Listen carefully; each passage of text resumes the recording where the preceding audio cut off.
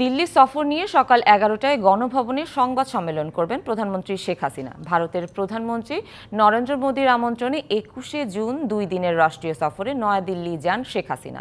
লোকসভা নির্বাচনে বিজেপি নেতৃত্বাধীন জোট টানা তৃতীয়বারের মতো সরকার গঠন করার পর এটি ছিল ভারতের কোনো সরকার প্রধানের প্রথম দ্বিপাক্ষিক সফর। এর আগে নয় জুন মোদীর শপথ গ্রহণ অনুষ্ঠানে আমন্ত্রিত বিশিষ্ট জনদের মধ্যে উপস্থিত ছিলেন বাংলাদেশের প্রধানমন্ত্রীও। প্রধানমন্ত্রীর এই সফরে ভারত ও বাংলাদেশের মধ্যে সাতটি নতুন এবং তিনটি নবায়ন সহ দশটি সমঝোতা স্মারক সই হয়। নগদের কাছে সব গ্রাহকই প্রিয়, তাই তো সারা দেশে ক্যাশ আউট চার্জ সবচেয়ে কম।